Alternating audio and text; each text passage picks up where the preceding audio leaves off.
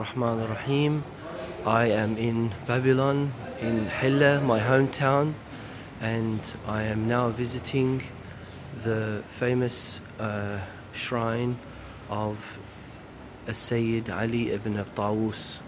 Sayyid Ali ibn Tawus is one of the famous ulama of uh, Hilla, and um, his books are specifically known um, for being in the area of ad'iyah and ziyarat and things like that and very very interesting um, to visit this holy place.